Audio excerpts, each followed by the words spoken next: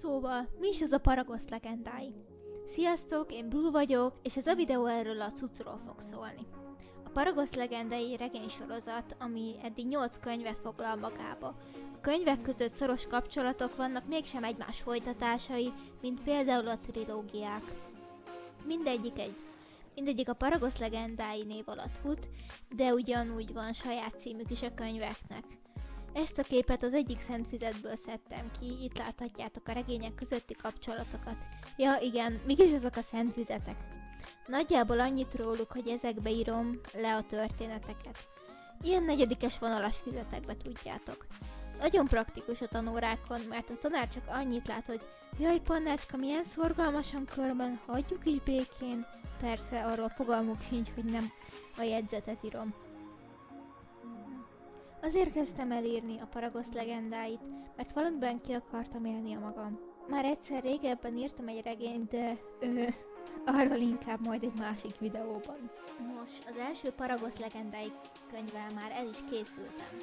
Jelenleg szerkesztés alatt áll, aztán ha minden jól megy, valamikor az év végén ki fogják adni. Jó, jó, tudom, már nagyon sokat domáltam, és még csak most fogom elmondani, hogy miről szól valójában az elegény sorozat, de ez van.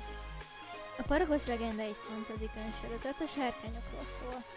De most ne ilyen kis király kis asszony rabló, tűzokádó, gonosz sárkányokat képzeljetek el, akiket megöl a herceg. Nem, hagyjuk a népmeséket. Szóval kezdjük ott, hogy van egy világ. Jó, nem is, igazából három világ, és a középsőt Paragosznak hívják.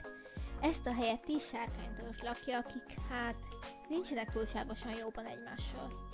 Ráadásul még még a fent és a lenti világ veszélyei is leselkednek rájuk, ahol egyébként szörnyetegek laknak. Paragosznak van egy sárkány istene, Genesis, aki a legendák szerint a világot teremtette és 15 varázselővel bíró tárgyat, úgynevezett erekét hagyott a paragosziakra, még mielőtt meghalt. Évez, évezredekkel később az egyik legerősebb erekje, a jogar, egy véletlen folyton egy fiatal kristálsárkány tulajdonába kerül, és véletlenül megnyit vele egy átjárót az alattuk lévő világba. Erről szól az első könyv. Most nem mondok többet, mert nem akarok spoilerezni. De ha most felkelteltem az érdeklődésedet, a leírásban megadtam egy linket, ami a Wattpadomra visz, ahol felraktam prológust és az első négy fejezetet a könyvből. A teljes könyv majd csak könyvesboltokban lehet megvenni, vagy a neten rendelni, de hirdetni fogom majd pályázatokat ingyen dedikált példányokért. Még rengeteg Paragosz legendái videó lesz ezen a csatornán, ezt megígérhetem. Ha kérdésed van valamivel kapcsolatban, akkor küldj nekem e-mailt bátran.